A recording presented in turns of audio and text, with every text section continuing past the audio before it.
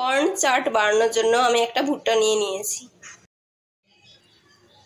নুন দিয়ে দেবো, সিদ্ধ করতে দেবো এটাকে। সিদ্ধ করে নিয়েছি, এবার ভুট্টাগুলো ছাড়িয়ে নেব। ভুট্টা সিদ্ধ, পেঁয়াজ, লেবু আর টমেটো।